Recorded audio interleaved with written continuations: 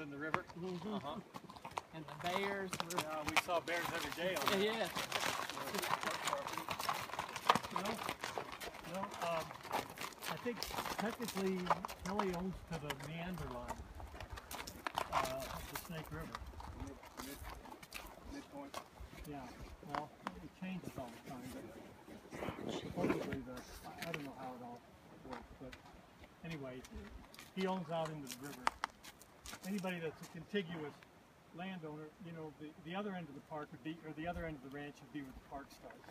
We're, we're heading that way though. So is this part of the irrigation to this property? No, uh, this canal would go on down to Snake River Ranch, the lower part of Snake River Ranch. Okay. Where that other canal um, would go to the upper part of Snake River Ranch, all the fields you drive through,